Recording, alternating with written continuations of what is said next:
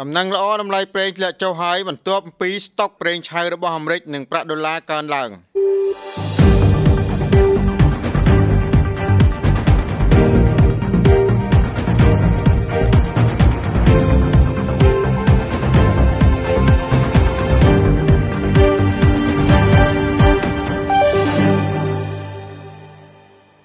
យ៉កដំណឹងល្អតម្លៃប្រេងបានធ្លាក់ចុះគួរឲ្យកត់សម្គាល់កាលពីថ្ងៃពុធបន្ទាប់អំពីស្តុកប្រេងឆៅរបស់អាមេរិកនិងប្រាក់ដុល្លារកើនឡើងនេះបើយោងតាមការចុះផ្សាយរបស់ទីភ្នាក់ងារសារព័ត៌មានចិនស៊ីនហួរដែលកម្ពុជាសន្តិភាពទទួលបាននៅថ្ងៃសុក្រទី12ខែវិច្ឆិកាឆ្នាំ2021ចំពោះ West Texas Intermediate សម្រាប់ការបែងចែកខែធ្នូបានធ្លាក់ចុះ2.81ដុល្លារអាមេរិកឬ3.3%មកនៅត្រឹម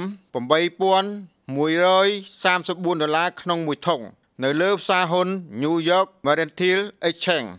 ចំពោះប្រេងឆៅប្រេនសម្រាប់ការចែកចាយខែមករាបានធ្លាក់ចុះ2.14ដុល្លារឬ1.5%មកបិទនៅ8264ដុល្លារក្នុងមួយបារ៉ែល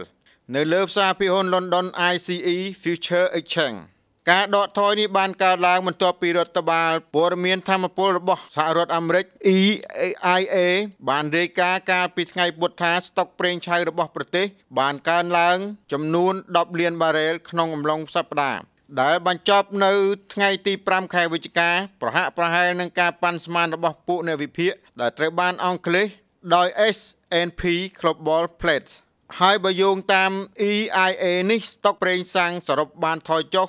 1.6លានបារ៉ែលពីសប្តាហ៍មុនខណៈដែលស្តុកប្រេងចម្រាញ់បានថយចុះ2.6លានបារ៉ែល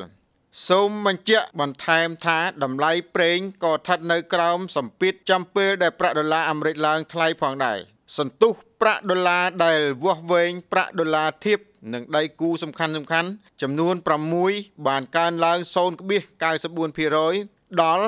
94.4660នៅក្នុងការជួញដូរយឺតកាលពីថ្ងៃពុធតាមប្រវត្តិសាស្ត្រតម្លៃប្រេងមានទំនាក់ទំនងបញ្ច្រាស់នឹងតម្លៃដុល្លារអាមេរិកខ្ញុំបាទឈិតសំណាងកម្ពុជាសន្តិភាពនាំមកជូនលោកអ្នកដោយក្រុមហ៊ុន OS Rival Marketing Cambodia សម្ភារសុខភាពឧត្តមភាព Cream Vermix 3មិនចាក់មិនលេបមិនវះកាត់គ្រាន់តែលាបប៉ុណ្ណោះ Cara Perfume Body Serum ស្បែកសស្អាតក្លិនក្រអូបនិងជឿជាក់